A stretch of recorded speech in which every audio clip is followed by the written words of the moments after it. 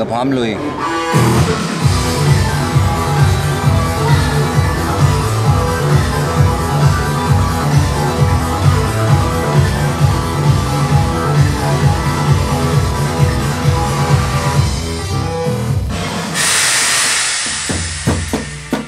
อะไรอ่ะ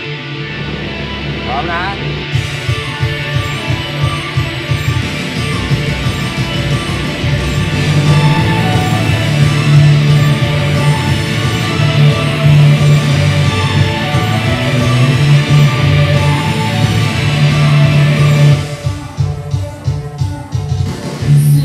来啦，来来来。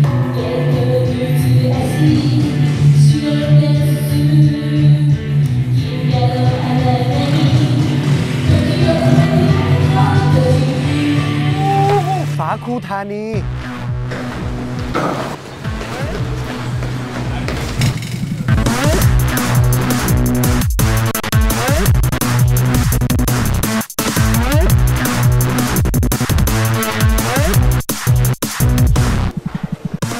จบอย่างไม่น่าเชื่อ ทุกครั้งที่จบทริปยาวๆใหญ่ๆนะท่านผู้ชมครับส่วนมากมันจะเป็นความรู้สึกแบบฮะจบแล้วเหรออุตส่าห์ตะลุยกันมาขนาดนี้ถือว่าคุ้มไหมทริปนี้คุ้มจริงแต่จริงๆแล้วก็ก็อยากจะไปต่อเหมือนกันนะผมไม่อยากกลับบ้านยังอยากไปต่อมาก คือรักบ้านนะครับ แต่ว่ามีหลายคนคิดถึงผม ถ้าอยากจะไปต่อแล้วแล้วทำไมไม่ไป เดี๋ยวก่อน เฮ้ย ไปด้วย ไปต่อเดี๋ยวเดี๋ยวขอด้วยดิพี่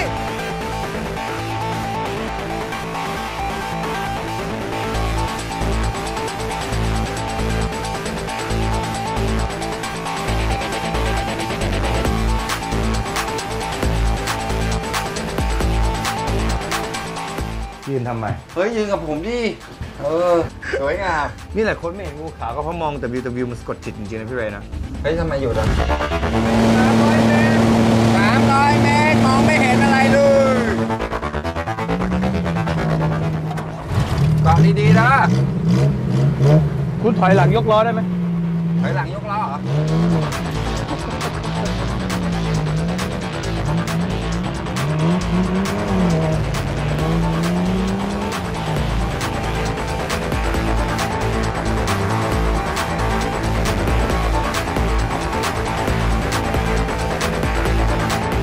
เข้าไป follow ผมได้ที่